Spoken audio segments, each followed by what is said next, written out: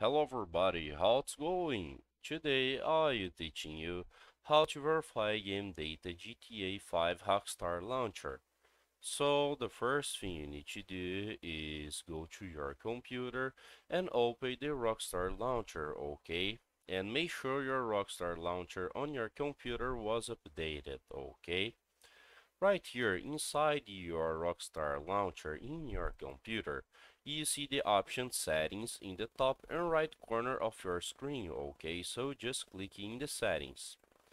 Right here in the settings you see some options but in the left side of your screen you see my installed games and the GTA 5 so you just click in the GTA 5 okay and after that, if you scroll down, you see the option to verify game file integrity. So just clicking the button to verify the files of your GTA 5, okay?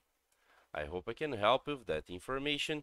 If you like it, don't forget to subscribe in our channel and hit the like button. See ya!